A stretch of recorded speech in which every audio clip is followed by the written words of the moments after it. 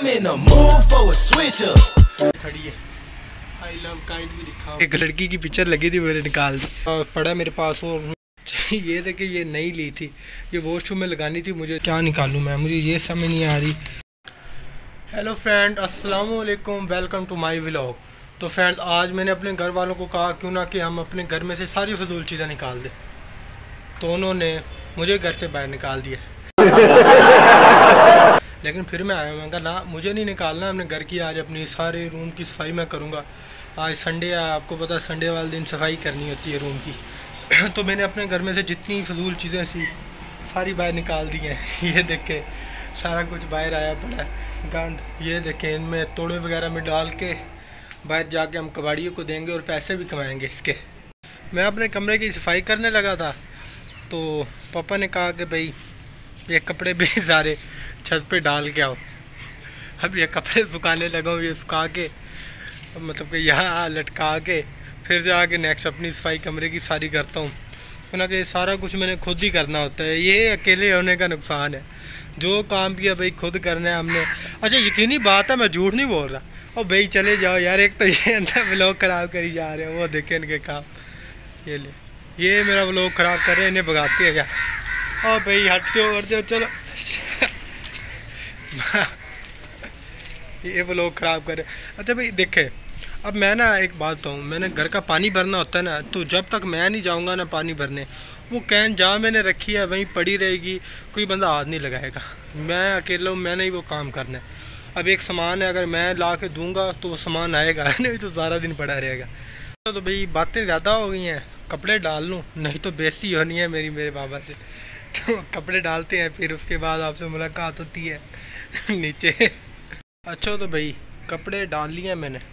अब हम नीचे चलते हैं, अपना अगला काम करते हैं।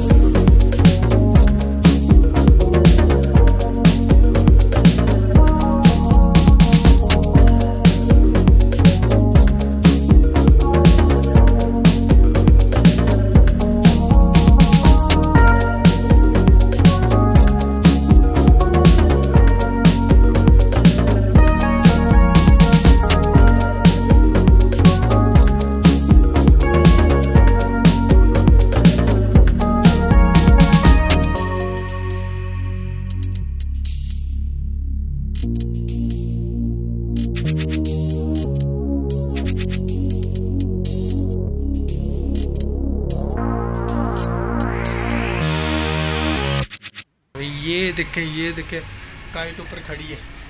आई लव काइट भी लिखा हुआ है।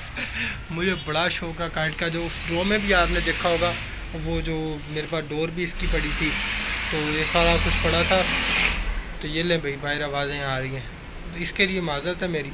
इन आपको मैं अब मतलब आपको पता है, जब बंदा बाहर जाता है ना, तब नया नया वो लोग बना सकता है नई नई जगह दिखा सकता है। जब आज छुट्टी थी, लेकिन मतलब कि जब बंदा नया नया मतलब बाहर निकलता है ना, बंदा नए नए व्लॉग आते हैं, नई नई चीज़ें आती हैं। जब आपको पता इंसान घर में होता है ना तो सिर्फ़ घर का ही बंदा व्लॉग दिखा सकता है, अपने कामों का ही। आपको पता है काम ही करने होते हैं लड़कों ने, वो क्या करना होता है। चले, इंशाल्लाह मिलेंगे नेक्स्ट व्लॉग में। अल्लाह हाफिज़।